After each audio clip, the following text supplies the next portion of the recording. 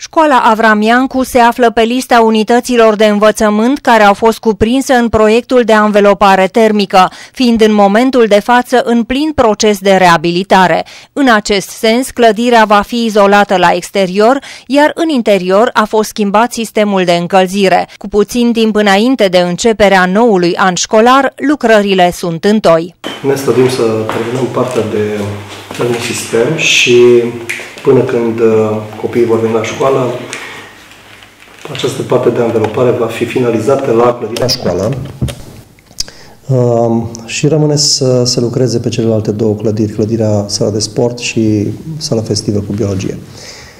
Așadar, uh, pe partea de termosistem o finalizăm.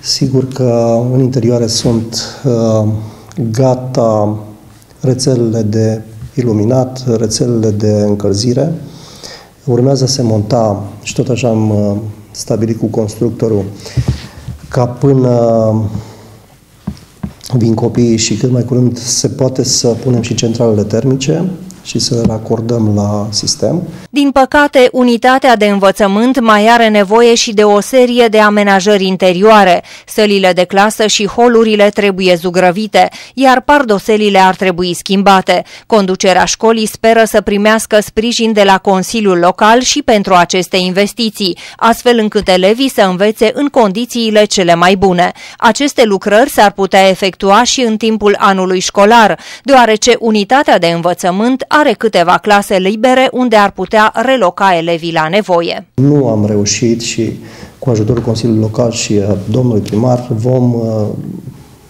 cu alocarea necesară vom reuși să facem și interioare, zugrăvel și pardosel și tot ce e necesar, dar nu în această etapă. În cadrul școlii vor intra la cursuri aproximativ 510 elevi și cu câteva excepții, clasele au sub 30 de elevi. De asemenea, aici cursurile vor fi doar pe dimineață, precizează directorul Ioan Marian Pop. Funcționăm cu indice 1, toate clasele pe dimineață, avem spații suficiente, avem 21 de clase, Uh, toți copiii vor fi primiți pe program de dimineață. Clasele nu sunt uh, nici uh, suprapopulate. Avem probabil excepții, cred că două clase cu vreo 30 de elevi, dar în general sunt pe mediu spre maxim populate. Nu avem clase cu efective foarte mici.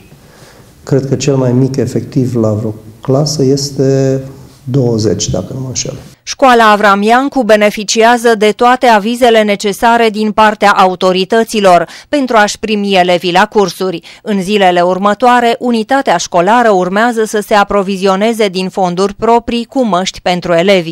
Soluțiile necesare pentru igienizarea sălilor de clasă sau produsele pentru dezinfectarea mâinilor sunt deja asigurate.